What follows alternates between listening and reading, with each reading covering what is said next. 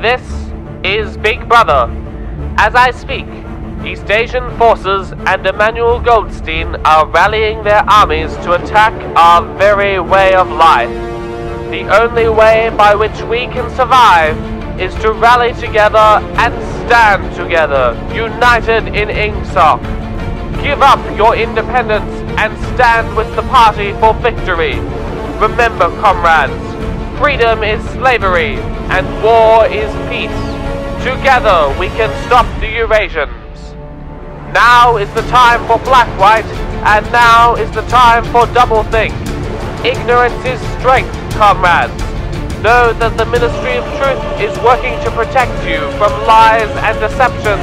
And even now, the thought police are hunting down traitors who would have us fall.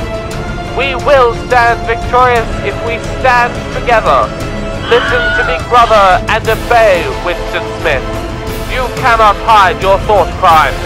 Even now, your children, your friends, your co-workers are watching you for your own safety.